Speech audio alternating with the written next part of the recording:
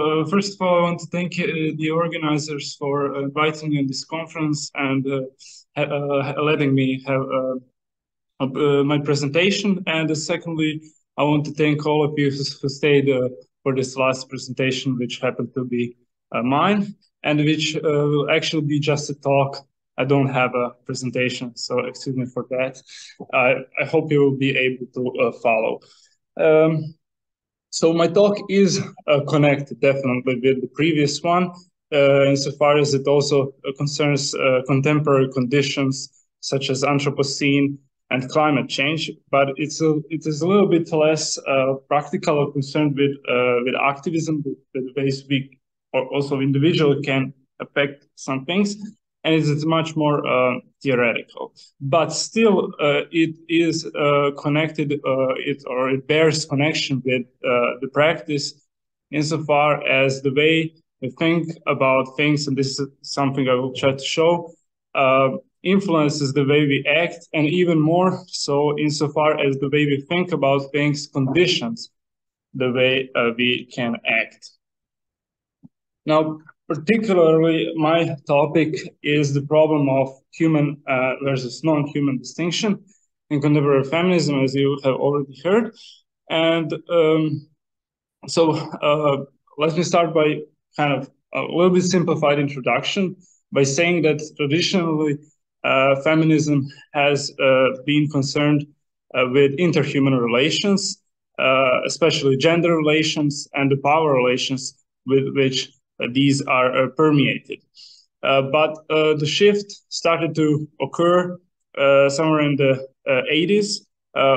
although, again, with with having in bearing in mind the previous presentation, we could say that the shift already occurred in the 70s with, with the emergence of ecofeminism, but I'm uh, following here a little bit different lineage of uh, thought. So, uh, and I'm focusing on the work of Donna Haraway, and especially her Cyborg Manifesto published in 18, uh, 1985, which had uh, such an immense influence on um, uh, feminist theory and various feminist theories actually that uh, followed in uh, uh, subsequent years and decades.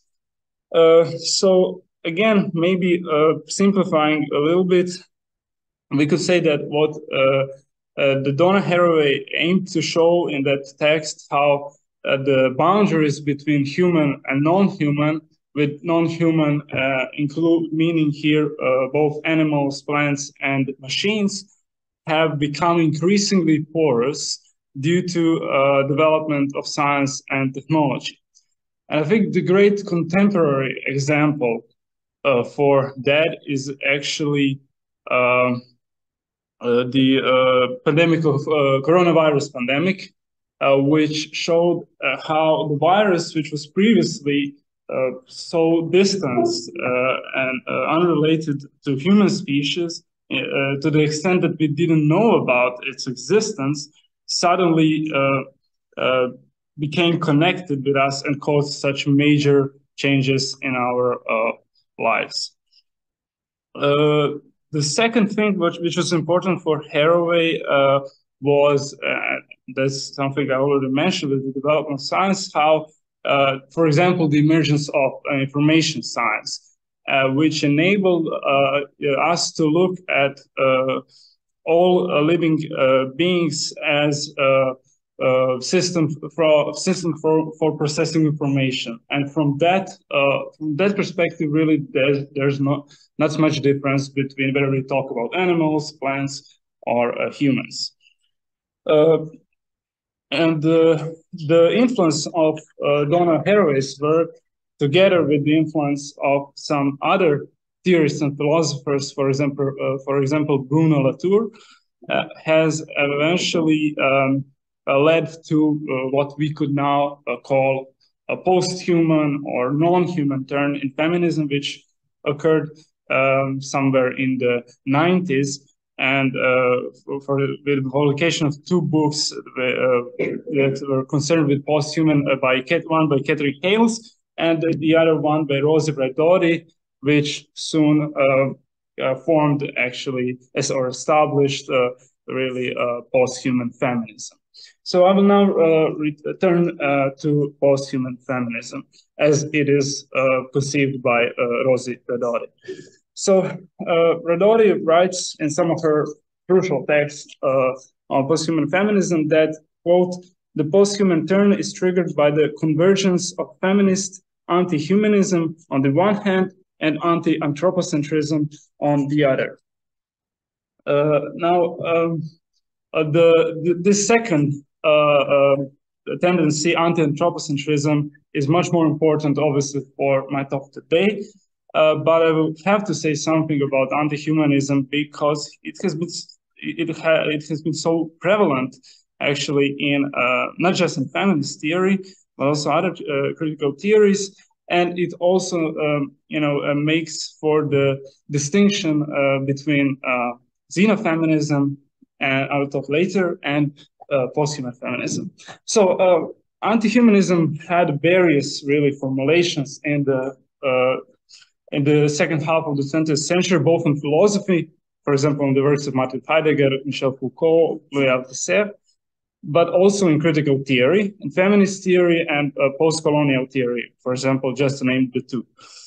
Uh, what it uh, what is central for its emergence for, for this critique of classical humanism is the recognition of historical limitations of the emancipatory programs based on humanist principles.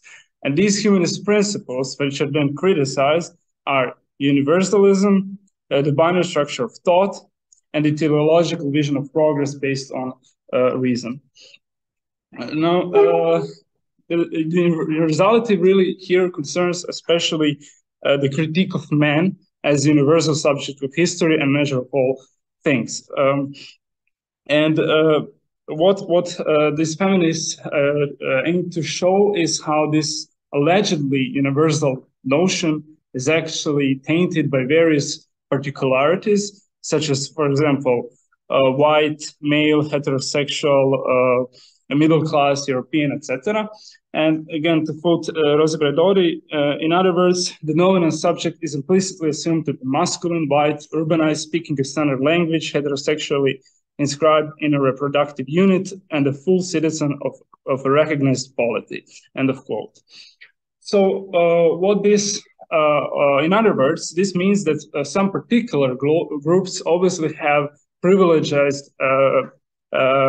access to this privileged access to this universality, but at the same time, other groups are excluded uh, from it. Uh, and um, these forms actually uh, what then you have is obviously a binary opposition between human, this supposed uh, universality, and its actual others, which can be, you know, depending on the some particularity which you which you uh, uh, which you uh, put in focus.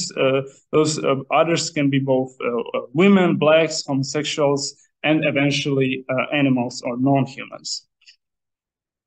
But what is problematic here, I think, and I want to highlight is, for example, how Rosi Braidotti writes about, you know, kind of no problem about masculinist, masculinist universalism and supposedly uh, feminist pluralism. So uh, I have this problem really with gendering uh, these uh, notions like universality and reason.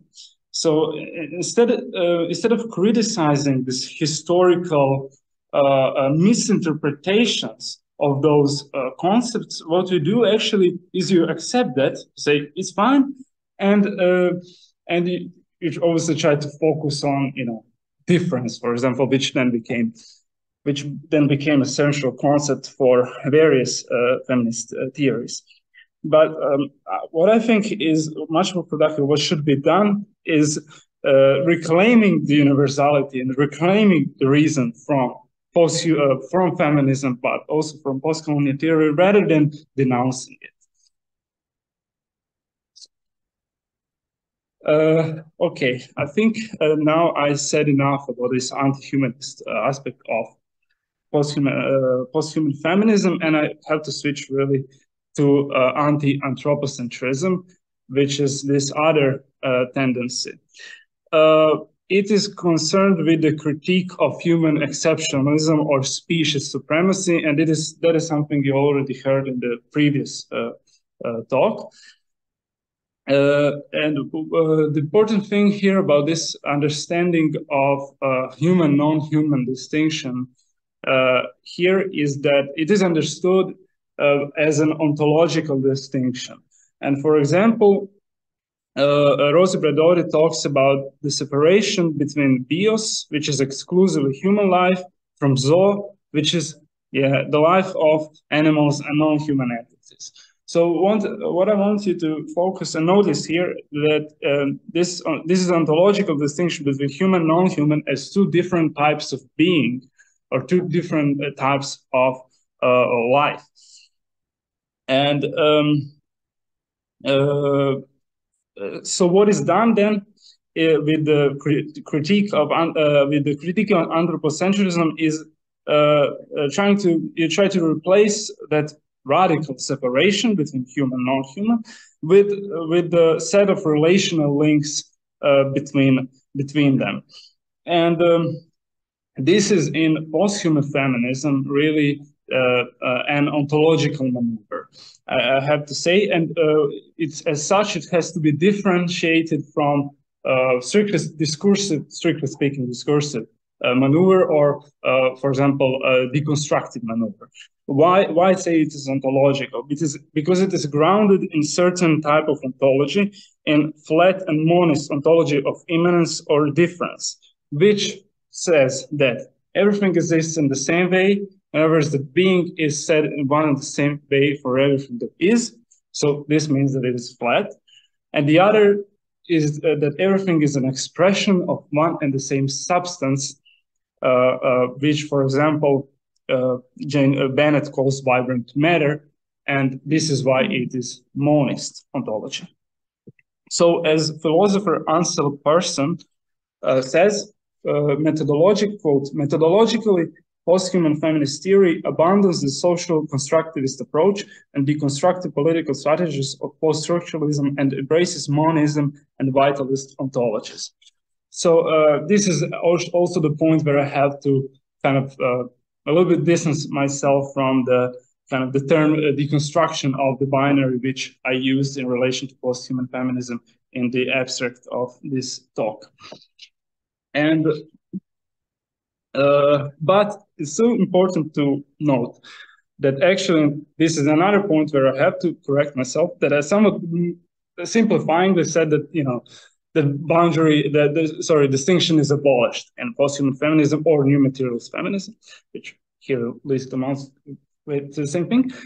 It is actually not, and that is something that Rosi Braidotti highlights in, in her text. Uh, that uh, although the post-human feminism is uh, that um, sorry that uh, post-human feminism preserves what she calls um, anthropologically bound structure of the human, and this is what also she calls anthropomorphism.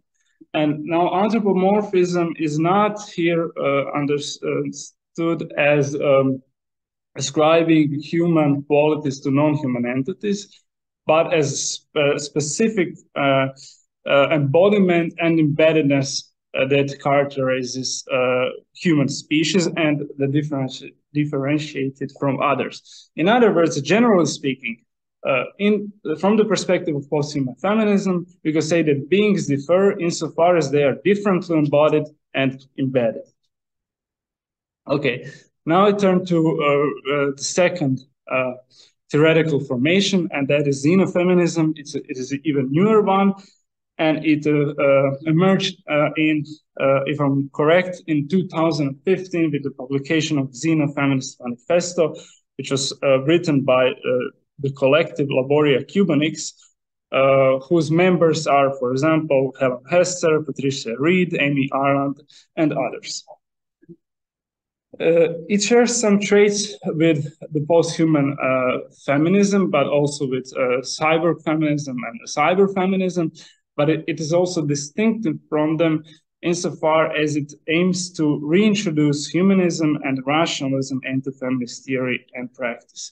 And this is explicitly said in the manifest where it is written, uh, quote, xenofeminism is a rationalism. Uh, but uh, it should be said that xenofeminism doesn't just critically appropriate classical humanism and rationalism, but actually uh, revises the, the content of these concepts. And in that, it relies very much on uh, contemporary philosophy uh, and you know, contemporary uh, visions of these concepts in philosophy.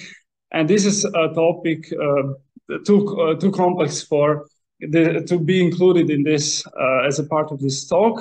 But what I could say at least is that that uh, humanism really, uh, in contemporary formulations, actually becomes inhumanism, insofar as it is uh, it extends beyond uh, any historical understanding of the human, um, and also uh, rationalism uh, is untied from the human. So it don't it is not understood as uh, exclusively a human uh, feature. Uh, now I, I, want to talk about the problem, uh, the way the xenofeminist, uh, xenofeminism understands this distinction between human and non-human. And uh, it, it is understood here mainly as a distinction between sapiens versus sentience. And this is something that is actually taken uh, from um, a philosophy of mind, uh, where you, obviously you have sapiens are simply speaking, you know, creatures that think, and sentients are creatures that feel. And this is somewhat uh, uh, problematic or simplified insofar as we know today from the researchers in uh, biology that uh, animals uh, and plants can also think, at least to the some extent. And uh, so, you know, you cannot just say that they only feel. But still, you know, there's a kind of quite important distinction in the cognitive abilities between humans and other species. So basically, what is, is um, what, what is the implication of it is that once your greater cognitive abilities also uh, uh, that humans, because of their greater cognitive abilities, also bear greater responsibility, uh, uh, understood here really etymologically as ability to respond. And with that in mind, I'm, i now turn uh, to political implications of these understandings. Uh, now, I will first talk about a little bit about post-human politics of post-human feminism, which very much uh, kind of focuses, uh, for example, on exploding relationality on all levels in a, and in all directions, or to quote Rosi Braidotti, becoming relational in a complex and multi-directional manner. Uh, it also uh, foregrounds the politics of the non-human agents, and this is something again we heard uh, in the talk about ecofeminism. Uh, then there are concepts like becoming Earth or geocentered, becoming imperceptible, exhaust-centered, uh, and creating cross-species alliances uh, with the productive and immanent force of Zoe, although I'm not sure about how you really create cross-species alliances, but you know, um, maybe that's that, that's too hard for, but nonetheless. Uh, and uh, the uh, last thing I would uh, kind of say here is, quote, experimenting with what contemporary biotechnological mediated bodies are capable of doing in the radical immanence of their respective locations. Now, this may sound enticing uh, to someone who is working in uh, performance art, for example, or bio art. And if you're into this field, you will know how much influence post-human feminism had on um, uh, in the in the art, and how much it resonates with some uh, practices, really. Uh, but there are obvious uh, problems here uh, with this uh, these kind of formulations of politics. Um, and one is the inability, I think, of post-human feminism to conceive collective political agency. And this is really because it lacks any kind of uh, accent, emphasis on reason and cognitive abilities which enable agents to cooperate to form complex aims and, and so and to work on a, a more kind of not exclusively local scale. The, the, the other thing is uh, that refusing to differentiate non-human agency and Roosevelt even calls uh, says, uh, uh, uh, talks about accountability, but I don't know what kind of accountability that really is from specific human, that is to say, rational agency and accountability. Uh, so the result is that post-human feminism effectively disperses responsibility among agents. So in, in contrast, actually, uh, to trying to highlight uh, uh, Uh, the uh, the urgency uh, to act in, uh, uh, in response in response to issues like climate change, this kind of thinking really can lead to you know kind of position well well you know we are, we are all equally connected we, and therefore we are all equally responsible. so again, to highlight once more, the, the only difference between humans and non-humans, it seems, in post-human uh, feminism is uh, the difference uh, in embodiment and embeddedness, while at the same time, striking difference in cognitive capacities is systematically ignored. You know. And now I turn to politics of xenofeminism. Can you tell me just how much? You, you have you have 15 minutes. Oh, okay. I have even more than enough. I was speeding a little bit. Okay, so um, okay, yeah, maybe it's I haven't I haven't uh, given a uh, talk for quite a long time. Okay, uh, um, so um, uh, what I have to say at the beginning is that uh, sapiens is not only condition of uh, post-human political agency, but really, as I already tried to show, of condition for any political agency. Uh, and uh, here I quote Helen Hester that with, without sapiens, action is reduced to meaning just do something, and collectivity, understood as an alliance of agents with common aims and shared commitments, cannot be formed. So uh, that is why uh, the uh, recogni recognizing our own embeddedness and assemblages of loose mutual reliance is simply insufficient for creating the conditions for collective responsibility. End of quote. Uh, so in response to this uh, problem, to these problems that post-human feminism has in formulating uh, uh politics, Helen Hester uh, uh, proposes her own model of post-human agency, which is really, which is, which which is encompasses uh, or is formulated simply as sapiens plus care. Now, from traditional perspective, uh, which strongly separates cold rationality on the one hand and warm affectivity on the other, these this connection may seem um, uh, quite uh, problematic or unlikely. But in contrast to this, uh, although you know, firstly we have to say that again from the uh, researches in uh, neuroscience, we know that you know rationality and affectivity cannot be that uh, simply you know separated as as, as it has been done traditionally in philosophy. So um, uh, Helen Hester uh, talks about quote sapiens and care as fundamentally entangled from the get-go, insofar as quote the capacity to respond is also an ethical obligation to respond. End of quote.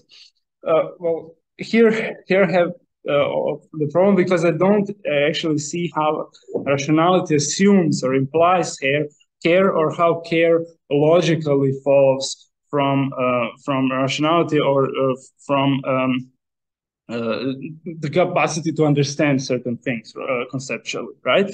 So, in other words, what, what I'm going to say is that you know there is no reason why a rational agent uh, uh, wouldn't still uh, per act perfectly only in its own self-interest.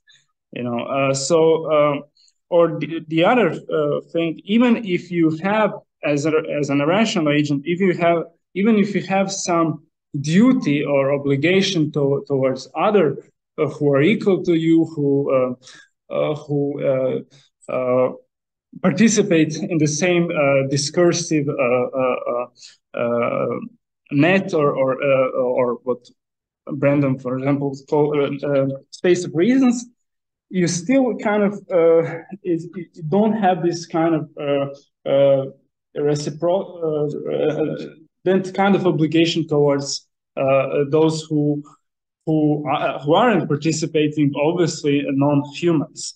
So uh, what what I'm uh, actually uh, kind of what, what I want to emphasize is the distinction between care on the one hand versus duty on the other hand. So uh, duty or uh, obligation implies res uh, reciprocity, exchanging not only of goods but of reasons. And while the care is unilateral, so it means that you, when you care for someone, you don't care really whether it can somehow uh, reciprocate your to you or somehow um, um, give you something in return. Really, it's a gift, as a, what Derrida might, might say. A anyway, uh, so uh, without without uh, kind of uh, willing to gender uh, this care, or paradigmatic example, obviously, is the care of mother for her uh, children. Now, um, so uh, I, I try to show that equally post-human feminism and uh, and xenofeminism have uh, problems in uh, conceptualizing uh, political agency. And although kind of I find myself veering towards xenofeminism, uh, there are still obvious problems in here in really connecting this rationality of sapiens with uh, with care.